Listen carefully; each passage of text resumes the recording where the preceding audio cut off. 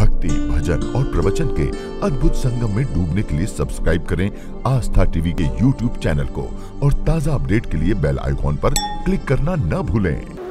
सुत पुराण ने प्रयाग तीर्थ में कहा सुनो महात्मा प्रसन्न स देवानां क्षेत्र महात्मय हेतवे।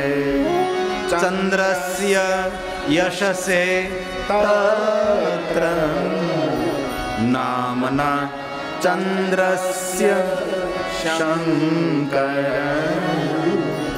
नामना चंद्रस्य शंकर शंकर भगवान चंद्र के नाम से वहाँ सुंदर ज्योति स्वरूप में भगवान प्रकट हुए हैं और इस ज्योति का नाम है सोमेश्वरश्च नामना असिद्धि ख्यातो भुवनम त्रय क्षय कुष्ठादि रोगाणां नाशकः पूजना द्विजा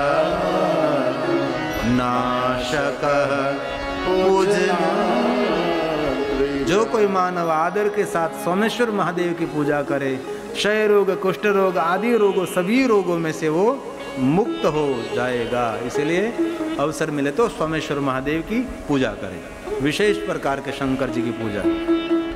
और पूजा न हो सके तो सोमेश्वर महादेव का दर्शन करे। तो दर्शन करे तो सर्व पापात प्रमोच्यते। जीवन के सभी पापों में से मुक्त होकर हो शिवलोक का अधिकारी होगा। और भगवान महादेव का लोक उनको मिलेगा जो सोमेश्वर महादेव का दर्शन करें। भगवान व्यास का वचन है। सोमलिंग नरो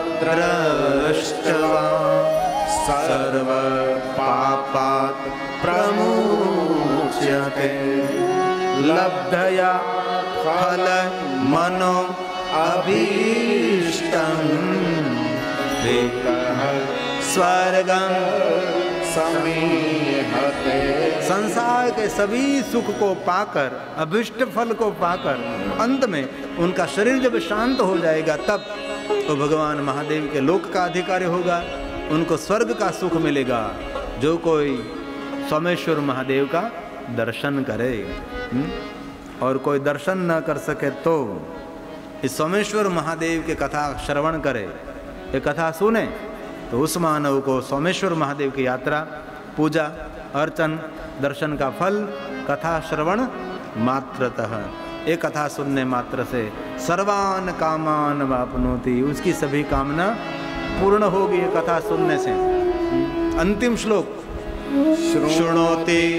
तदोत्पत्ति जो कोई सोमनाथ महादेव की उत्पत्ति की कथा सुने तो सर्वान कामान वापनोति।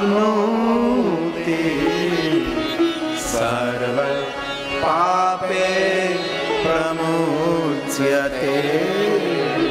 सर्व पापे प्रमुच्यते।